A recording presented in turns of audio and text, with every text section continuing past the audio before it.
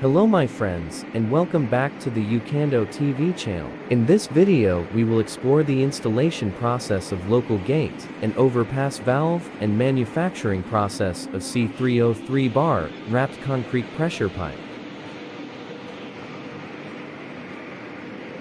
TM's manufacturing process for spiral pipes begins with the selection of high-quality steel materials that meet the required specifications. The steel is then formed into a spiral shape using a specialized pipe mill equipped with DP heat treatment equipment. The spiral pipes are produced through a continuous automated production process, ensuring high precision and consistent quality. TM's spiral pipe mill can manufacture pipes with diameters ranging from 532 to 1420 millimeters and wall thicknesses from 6 to 60 millimeters. These pipes are widely used in major oil and gas pipelines in Russia and the CIS. TM spiral pipes are created using submerged arc welding saw, a highly efficient welding method that ensures strong and reliable welds. Heat treatment adjusts welded seams and base metal, making them similar to seamless pipes in properties. TMK sources quality steel that possesses the necessary mechanical properties and durability for large diameter pipes. These materials undergo rigorous quality control measures to ensure they meet the required specifications. After the steel selection, the pipes are formed using roll forming technology. This process involves shaping the steel into a cylindrical shape with the desired diameter and wall thickness. Roll forming provides precise control over the pipe's dimensions and ensures uniformity throughout the length of the pipe. Once the pipes are formed, they proceed to the welding stage. TMK employs advanced welding techniques, such as submerged arc welding saw, to join the longitudinal seams of the pipes. After welding, the pipes undergo heat treatment to enhance their mechanical properties. Heat treatment helps adjust the microstructure of the welded seam and the base metal, making them similar to seamless pipes in terms of characteristics. To ensure the pipe's quality, TMK performs non-destructive testing NDT on each pipe. NDT techniques, such as ultrasonic testing, X-ray inspection, magnetic particle inspection, and hydraulic testing, are employed to detect any defects or irregularities in the pipes. To protect the pipes from external corrosion, TMK applies external corrosion-resistant coatings. These coatings, such as two-layer polyethylene or polypropylene coating and three-layer polyethylene or polypropylene coating, are carefully applied to the pipes. They provide a durable barrier against corrosion and ensure the longevity of the pipelines, even under harsh environmental conditions.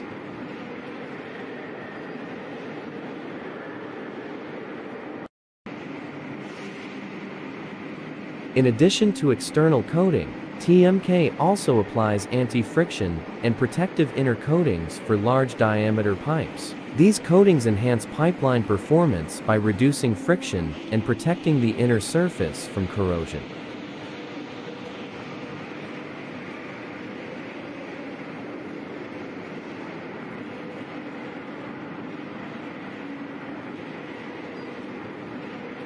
Throughout the manufacturing process, TMK maintains a strong focus on quality control and environmental management. The company adheres to ISO 9001 for quality management and ISO 14001 for environmental management.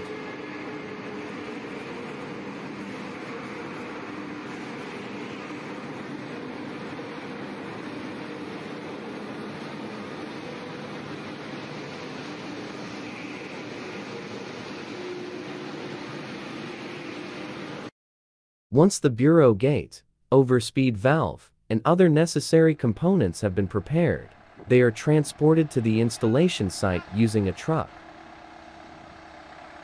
The components are securely loaded onto the truck, taking into account their size, weight, and any special handling requirements to ensure their safe transportation.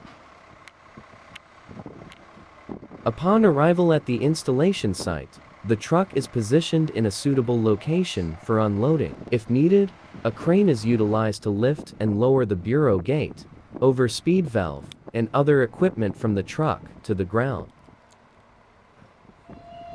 The crane operator carefully maneuvers the components, ensuring they are safely placed in the designated area. The use of a crane provides several advantages during the installation process. It allows for efficient and controlled lifting and lowering of heavy equipment, reducing the risk of damage or accidents. The crane's maneuverability enables precise placement of the bureau gate, overspeed valve, and other components at their intended locations. The Bureau Gate assumes a crucial role in load cutoff operations. It is designed to regulate the flow of fluids within the pipeline, serving as a control mechanism that can swiftly halt the flow when necessary.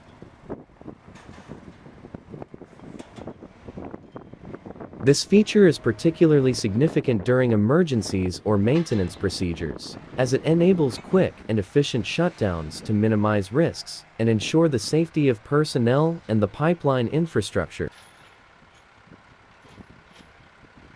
The incorporation process begins with meticulous planning and assessment to determine the optimal location for the bureau gate and overspeed valve. Factors such as pipeline dimensions, flow rates, pressure levels, and accessibility are considered to ensure an effective and efficient installation. Once the appropriate location is identified, excavation work may be required to create a suitable foundation for the chest housing the components.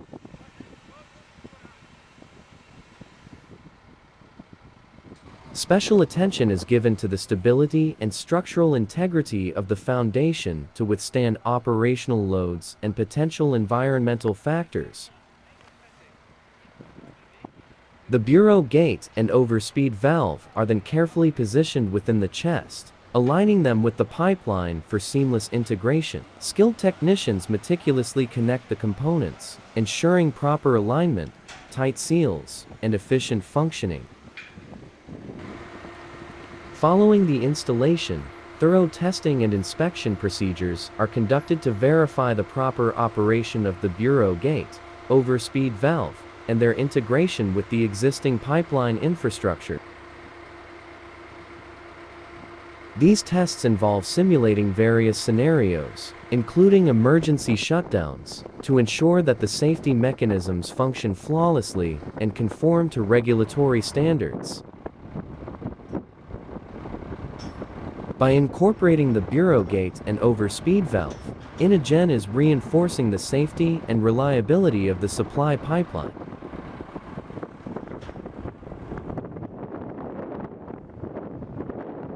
These essential components provide vital control and protection mechanisms, enhancing the overall operational efficiency and minimizing the risks associated with fluid flow.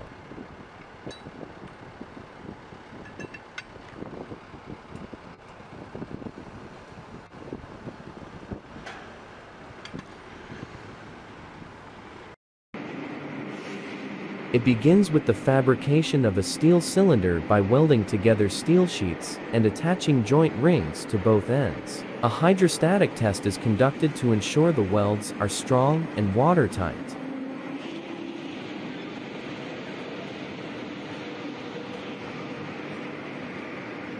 A cage making machine is used for the fabrication of welded wire fabric cages, ensuring precise and uniform construction. The cages are positioned outside the steel cylinder, and inner and outer forms encase the cylinder and cages.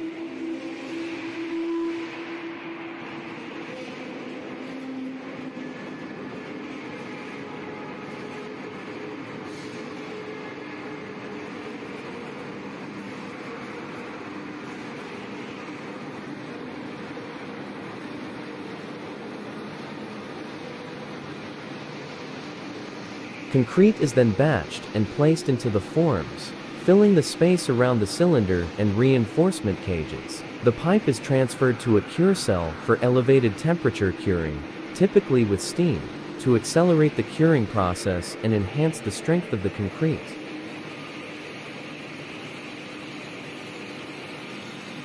After the initial curing period, the formwork is removed, and a final inspection and quality control checks are conducted to ensure the pipes meet industry standards. It begins with fabricating a steel cylinder by welding together steel sheets and attaching joint rings.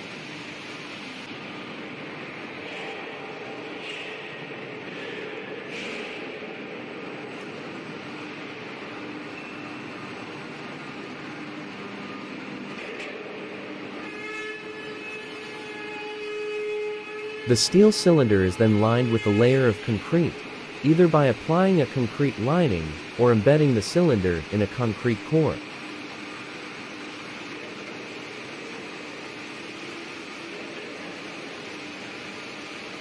Next, prestressing wire is installed on the exterior of the pipe, wrapped under controlled tension and spacing. This helps enhance the structural integrity by introducing compressive forces.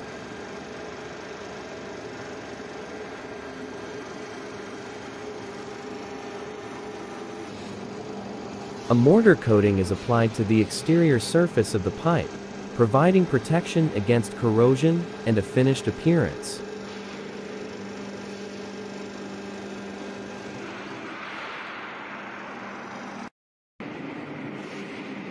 It begins with the construction of steel reinforcement, either using welded wire, fabric, or steel rods. The reinforcement cages are then placed concentrically over an inside form with an outer form centered over them.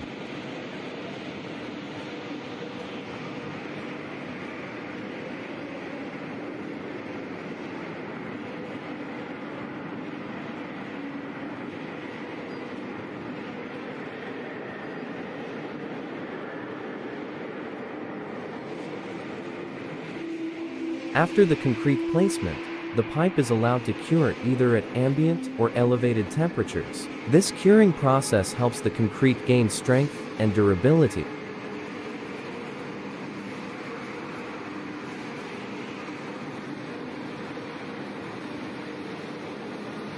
Once the initial curing period is complete, the formwork is removed and the reinforced concrete pressure pipe is inspected for quality control. The pipes undergo tests to ensure dimensional accuracy, strength, and water tightness.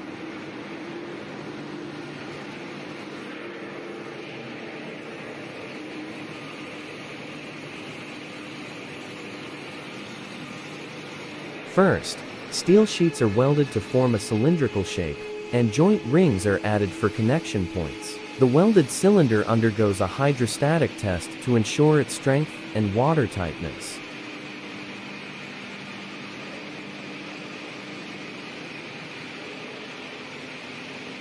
Next, the interior of the cylinder is lined with mortar, providing corrosion protection and enhancing hydraulic performance. Stiffener rings are installed to maintain roundness and stability.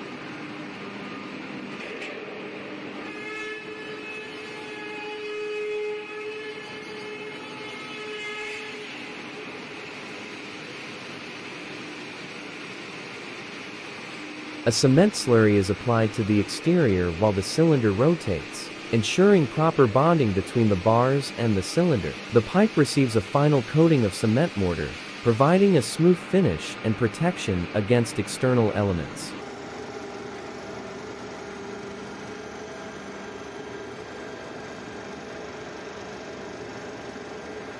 After curing, the pipe undergoes quality control checks to ensure it meets specifications and standards. Once approved, it is ready for shipment and installation in water distribution systems or other infrastructure applications.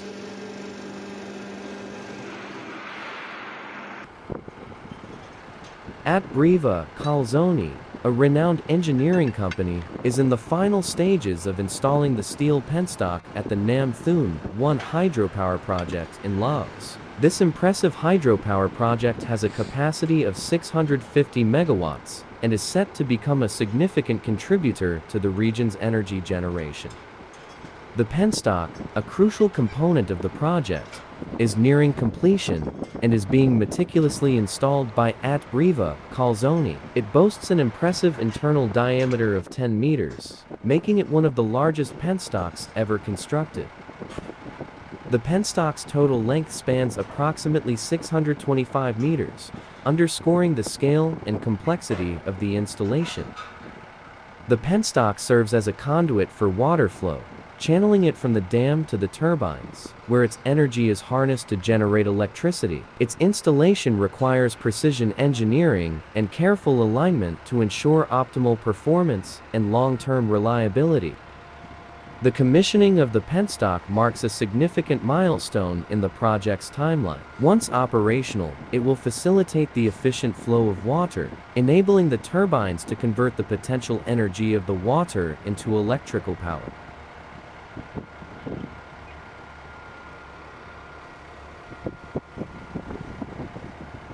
Firstly, the necessary equipment and materials are gathered and transported to the site. This includes heavy machinery, welding equipment, and the headrace pipe sections. Next, the headrace pipe sections are laid out in the correct order, and the joints are welded together to form a continuous pipe. The welding process is critical, as it must ensure the structural integrity of the pipeline while also providing a seal against leaks. Once the headrace pipe is fully assembled, it is lifted into position using cranes and lowered onto its supports. The supports must be carefully placed to ensure that the weight of the pipe is distributed evenly and can withstand the pressure of the water flowing through it. After the headrace pipe is secured in place, it is tested for leaks and pressure resistance to ensure that it is safe to operate. Any issues that arise during testing are addressed, and the pipeline is adjusted as needed.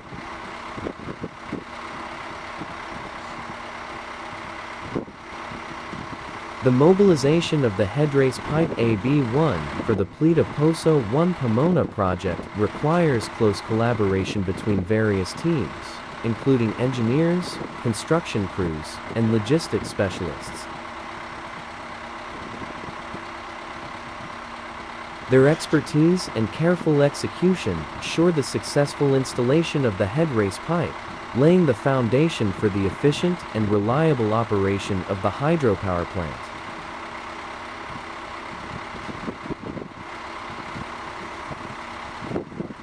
As part of the project, a new corrugated steel bridge was constructed, named Optimplate LK16 Ziers Ozork W, this bridge is designed to withstand heavy loads and extreme weather conditions, ensuring safe and reliable transportation of goods and passengers.